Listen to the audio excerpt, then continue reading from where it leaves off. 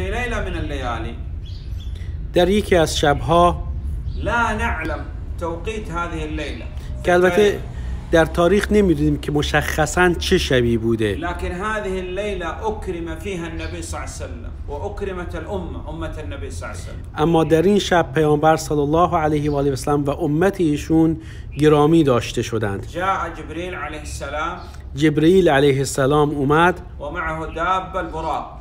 و موجودی به نام یا مرکبی به نام براق با ایشون همراه بود. نعم. أسري بالنبي صلى الله عليه وسلم من ال- من مكة إلى فلسطين بيت المقدس.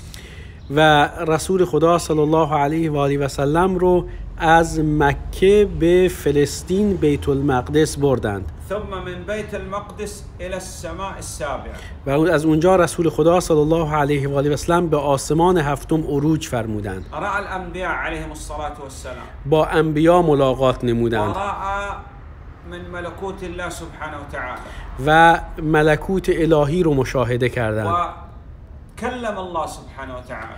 و با الله متعال سخن گفتند. وسمع النبي صلى الله عليه وسلم كلام الله سبحانه و وتعالى رسول خدا صلی الله علیه و آله و سلم کلام الله رو شنیدند سخن الله رو شنیدند. فرض الله سبحانه وتعالى عليه في هذه الليلة الصلوات المفروضة الخمس. الله متعال در شب معراج نمازهای پنجگانه رو بر رسول خدا صلی الله علیه و آله و سلم و امتشون فرض گردانید. فرضت خمسين صلاة أول ما فرضت البته در ابتدا پنجاه نماز فرض شد. عندما نزل النبي صلى الله عليه وسلم ولقي موسى عليه الصلاة والسلام سأله موسى عليه الصلاة والسلام. رسول خدا صلی الله علیه و آله هنگام فرود آمدن و پایین آمدن از معراج موسی علیه السلام رو دیدند و از این موضوع با ایشون سخن گفتند. فأخبر النبي صلى الله عليه وسلم عن خمسين صلاة. و به موسی خبر دادند که الله متعال پنجاه نماز رو بر امت ایشون فرض کرده. فقال موسى للنبي عليه الصلاة والسلام موسی علیه السلام به پیامبر صلی الله علیه و آله و سلم فرمود ارجع إلى ربك واسأله التخفيف أن يخفف نزد پروردگار برگرد و از او برای نمازهای برای پنجاه نمازی که فرض شده تخفیف بخواد تا الله کمترش بکنه. فخفف الله سبحانه وتعالى خمس صلوات. الله متعال پنج نماز رو از پنجاه نماز کم فرمود. يرجع النبي صلى الله عليه وسلم لموسى يأمر بالتخفيف يرجع إلى الله حتى وصلت إلى خمس صلوات. این آمد و شد بارها انجام شد تا اینکه نهایتا الله متعال پنج نماز رو پنج نوبت نماز رو در شبانه روز بر این امت فرض فرمود. وبقيت على هذا خمس صلوات في العدد.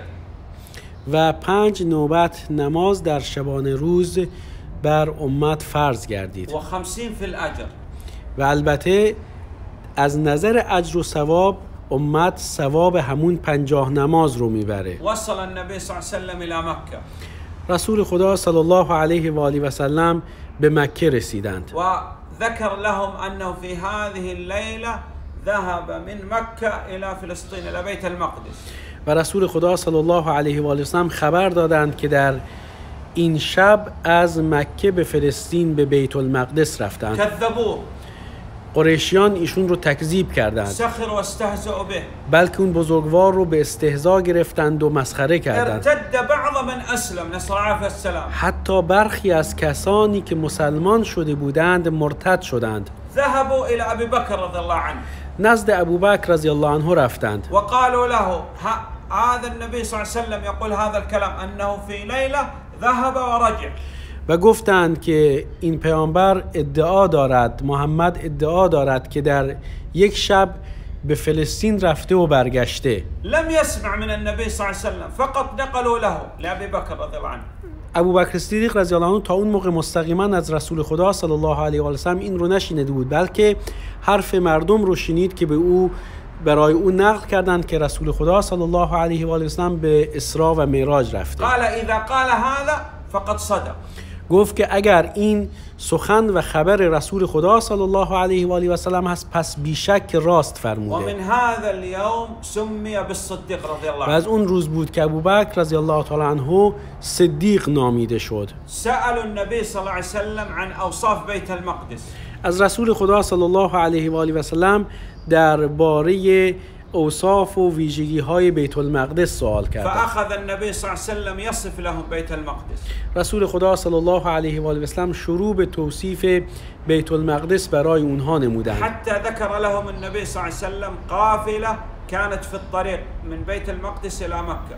حتی رسول خدا صلی الله علیه و آله و سلم برای اونها از قافله و کاروانی سخن گفتند که از بیت المقدس به سوی مکه در حرکت بود. ومع هذا لم يصدقوا والسلام. با این حال اون بزرگوار رو تصدیق نکردند. هذا كان قبل الهجرة بثلاث سنين. این ماجرا سه سال قبل از هجرت رسول خدا صلی الله علیه و آله و سلم بود. أول صلاة صلاها النبي صلى الله عليه وسلم هي صلاة الظهر. اولین نمازی که رسول خدا صلی الله علیه و آله و سلم خوندند نماز ظهر بود بعد از فرض شدن نمازها. ومن هذا الوقت إلى أن توفاه الله لم يترك النبي صلى الله عليه وسلم صلاة قط. و از این زمان تا لحظه وفات خودشون و تا زمان وفات خودشون رسول خدا صلی الله علیه و آله و سلم یک نماز رو هم ترک نکردند. أو ينام عنها. یا از نماز خواب نموندند. إلا مرة واحدة قدر الله سبحانه وتعالى عليه في السفر وفي الجهاد أن نام عن صلاة حتى تتعلم الأمة ماذا تصنع. مگر در یک مورد که رسول خدا صلی الله علیه و آله و سلم در سفر و جهاد بودند که از یک نماز خواب موندند تا امت یاد بگیرند که در چنین موردی که از نماز خواب میمانند چگونه عمل بکنند.